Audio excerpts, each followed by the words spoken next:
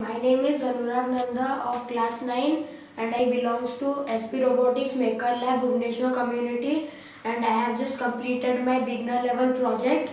The uh, project name is uh, room cleaner and the components used are normal chases, two servo and uh, arm, arm components and one uh, Bluetooth control.